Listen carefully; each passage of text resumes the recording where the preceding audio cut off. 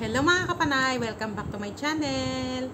Ayan mga kapanay, gagawin ko itong video na to dahil request to ng isa sa mga subscriber ko na ano, uh, ang itopic ko daw ay kung ano ba ang aking trabaho at trabaho ng aking Diyosawa nung kami ay magkakilala. Ayan.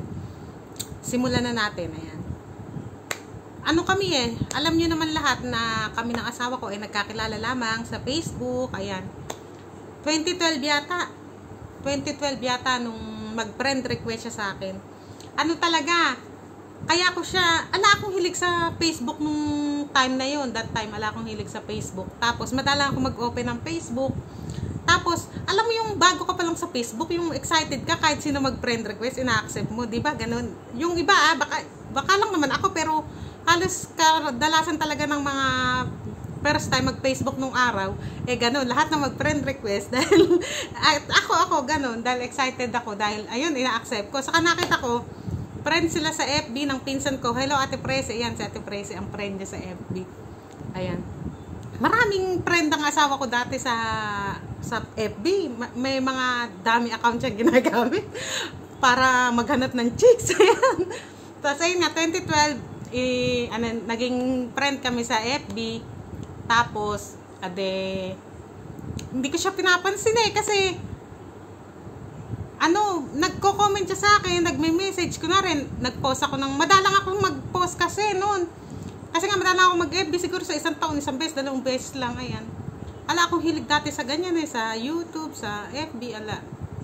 Ang cellphone ko lang, nan, puro di antena, yung may TV lang, ganun. Tapos, nagme-message siya sa akin, nag, nagha-how are you, ganyan. Tapos, nagko-comment siya sa mga picture ko, you're so sexy, Tapos, you're so beautiful, you're so hot. Sabi niya, natatakot naman ako kasi nga, sa isip-isip ko, ano ba naman tong lalaki na to? Sabi ko, yung para bang natatakot ako, ah, parang ano yata ito, may something, yung ganon, yung alam niyo na ibig sabihin, yung parang mael, ganyan. ganon, tapos natatakot ako, hindi ko siya pinapansin. Tapos kamo, ade ayan, nung nung me- message siya ng message, na comment siya ng comment, dinidelete ko agad yung comment niya, yung message niya, pag nakikita ko. Kasi nga, nung mga time na yun, may jowa ako. May jowa ako nung araw na matagal kaming naging magjowa noon, na na sa dahil sa maraming mga kadahilanan kaya ayan hindi kami nagkatuluyan hindi kami magkamatayan lang yun tapos ayan tapos 2014 o 15 or 16 yata ayan ganyan, basta ganyang taon, nung time pala na yun na mini-message niya ako, cashier ako nun sa, sa may Shell. Sa, hello sa mga katrabaho ko dyan sa Shell, ayan, cashier ako sa Shell nun, sa may, sa may shop. Sa may yung, di ba sa mga gasolinahan, merong mga shop yung bilihan ng mga snacks, ganyan, drinks. Doon ako kahira nun. Tapos, ayan, nung 2014, 2015, nag-guardia naman ako. Ayan, nag-lady guard ako sa Tarlac. Hello sa mga taga-IWS dyan. Ayan. nag-guard ako dyan sa Tarlac ng kulang dalawang taon din yata ako dyan. Tapos, ayan, nung naka-duty ako, eto na, nung 2014, 15 or 16 yata, ayan, ewan ko na kung anong taon. Naka-duty ako, panggabi kasi ako noon.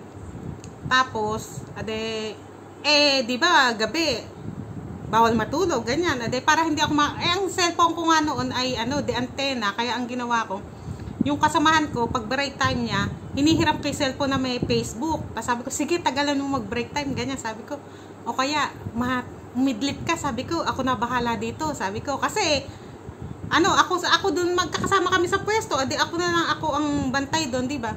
Ako muna dito, sabi ko, para nagpe-Facebook ba ako? Ayun, tas ayun, hinihiram yung cellphone niya pagka magbe-break time siya, ganun. Tapos, ayun, nag-ano kami, nag-chat-chat kami ng, nag, ay hindi pala, ano, dahil ko, dahil nilagin ko yung, yung Facebook ko sa uh, ah, FB niya. At yun, tapos, eh, de, swipe-swipe akong ganyan, ano, swipe nga, swipe, ba, basta scroll-scroll down akong ganyan nakita ko yung picture niya. De, inila, eh, di ba sabi ko nga sa inyo ako, ano lang ako sa Facebook, yung minsan-minsan, lahat ng makita ko nila, like ko, like, like, like, like. ade, actually, ade, ayan, nung nakita ko yung picture niya, nilike ko rin. Uh, gustong pag-like ko, mga 2 seconds lang yata, nag-message sa akin, sabi sa akin, hi, sabi niya, how are you, ganyan. eh, ako naman, ako, sabi ko, nag-message na naman tong ano na to, sabi ko. Tapos, ayan, natatakot nga ako. Natatakot ako nun sa ganun lahi. Kahit naman sa puting lahi, natatakot ako eh. Nung mga time na yon Tapos, ade, ayan, nung ano na, nung minessage ako sa, sa hindi ko sana papansinin eh, kaso nga, para ka ako malibang nga ako, saka, uh, para matuto ako mag-English ka ako, kasi nga, hindi ako marunong mag-English, di ba? Eh, how are you nga, naiilang pa ako, ano dapat isagot? ade, ayan, de, ayan, de, nireplyan ko, I'm fine, sabi ko. ano, ayan, tas, ayun, tas, nag, usap kaming konti-konti. Tapos sabi ko, ay sige nga. Sabi ko, kausapin ko to para nahahasa yung utak ko. Matuto ako mag-English. Ayun, sa awa naman ng Panginoon, ayan, natuto ako mag-English Carabao, ayan. Kasi di ba yung lahi nila, yung kadalasan ng lahi nila, ganun lang di English. Saka kadalasan talaga sa Middle East, eh, ganyan lang ang English, hindi katulad ng mga puti na talagang islang na islang, ganyan. Ganun lang. Tapos, basta nagkakaintindihan, ayos na ganun. Tapos, ayun, de, ayan, tapos pag nag-uusap kami, pag naka-duty lang ako nag-uusap kami. Sakto naman ng mga time na yon, lagi kami magkasama nung hinihiraman ko ng cellphone. Basta naglalagin ako, ayun, nagchat-chat kami, nagchat-chat kami. Tapos, ade, chat-chat, chat-chat, ayun, ganyan, ganyan. Hindi naman ako nakikipag-chat nun para magka-boyfriend, yung para pang matuto lang ako mag-English, ganyan, ganyan. Tapos, ayun, napapansin ko na, tas hanggang sa bumili ko ng cellphone, kasi nga, hindi naman araw-araw magkasama kami nung tao na hinihiraman ko ni ng cellphone, di ba? Kumpare ko na pala yun kasi nagninang ako sa anak noon. Eh, pare! Ayun, dahil sa kanya, kaya kami nagkatulungan talaga ng asawa ko. Dahil kung di niya ako pinahiram ng cellphone nung gabi na yun, eh, hindi kami magkakausap ng Diyosawa ko. Ayun. Tapos, ang ko na utang sa inaanak ko pala para yan. Tapos, ayun nga, de, yun, nagka-chat kami. Tapos, ayun, hanggang sa nakita ko mabait pala siya, mabait, mabait. Tapos, ganyan siya magmahal sa pamilya, ganyan, ganyan. Tapos ayan, sa isip-isip ko, pagka nakatuluyan, may, ito, nung time na yan, may jowa ako niyan, na, pero, yung gusto ko nang kumawala, ganun. Hindi ako sa, ano ha, hindi ako sa,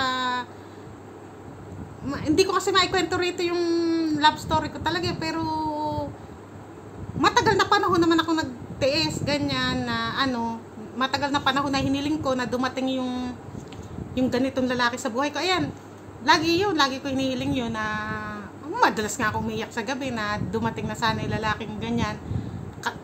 Kaya lang akong buhayin, kaya lang akong pakainin tatlong beses sa isang araw, mabait. Sabi ko, hindi sugarol, hindi manginom, masaya na ako. Ayan, ibinigyan na may asawa ko. Salamat sa Panginoon. Ano, binigyan naman ako ng mabuting asawa. Hindi nanginginom, napapakain naman kami. Ayan, hindi man ganun kaluho, pero masaya naman, masaya. Kontento, kontento. Kontento, kontento sa buhay ngayon. Tapos, ayan nga, ade, ayun. Tapos, ayun, nagkakausap-usap kami, ade, ayan, ilang buwan, ayan, naging kami, saglit lang naging kami. Alam niyo na, ang marpok, marpok, ano. Ayan, de, ayan, naging kami, naging kami, tapos, nung trabaho niya noon, tapos kukunin niya nga ako, di ba? Nag-resign ako sa trabaho ko noon eh, ano. Nag-resign ako sa trabaho ko. Namimiss ko ng mga trabaho ko noon kasi ano, pa ako ang pinakabata sa babae dun. Parang ako ang bunso-bunsoan nila. Saka tatay-tatayan ko talaga ang pinaka-head dun sa security. Hello Sir Aguila. Ayan, shoutout sa'yo. Ayan. Tapos, ade, ayan, de, nung kukunin niya na ako, nag-resign ako, nag, tapos ayun nga, di ba na-upload, upload nga ako, nagkanda upload, upload ang tita nyo, ang ating nyo. Tapos ayan, hindi ako matuloy-tuloy. Buti na lang sa pangatlong pagkakataon, natuloy na ako.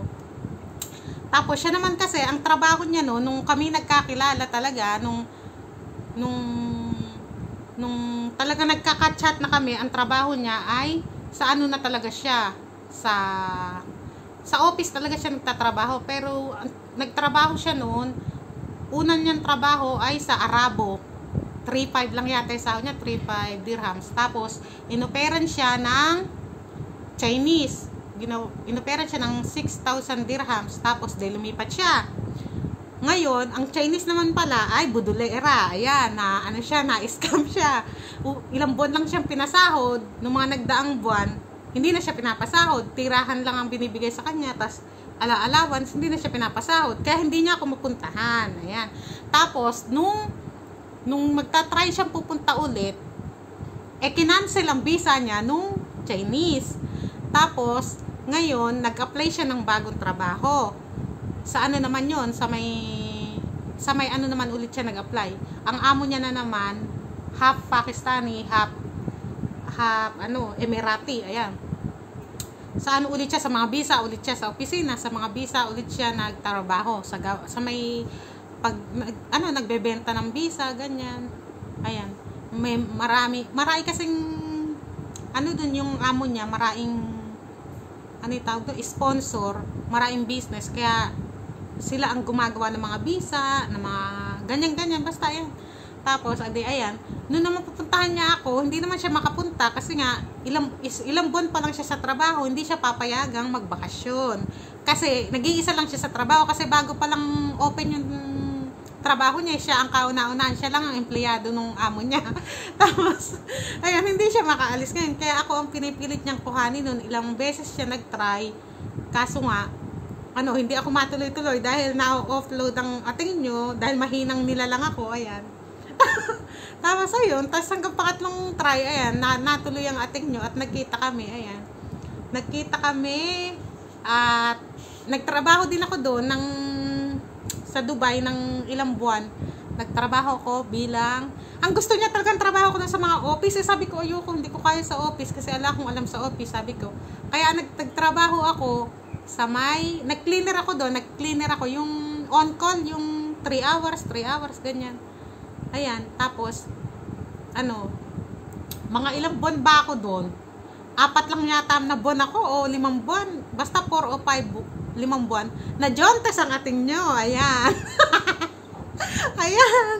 Na jontes agad ang ating nyo. Kaya ayan, napilitan ako umuwi ng Pinas kasi masailan ako maglihi. Ano, hindi ko kayang magtagal pa. Pero inaayos na lahat ng papel namin sa ano noon. Magpapakasal na kami doon.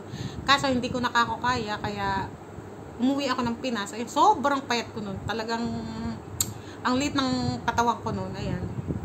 Kung ikukumpara nyo ngayon, triplihin yung triple, triple katawan ko ngayon. Nung naglilihi ko, ang payat-payat ko noon. Talagang ang itsura ko noon. Para akong manananggal na. Ayan. O, yun lang muna. Ayan, nakwento ko na kung ano ang trabaho namin noon. Katrabaho ko, trabaho niyan, bago kami nagkakilala. Yun lang muna sa mga gusto ko mag-request dyan kung ano ang susunod ko i-video. Eh, mag-comment lang kayo. Yan lamang. Maraming maraming salamat. Shoutout sa lahat. Babush!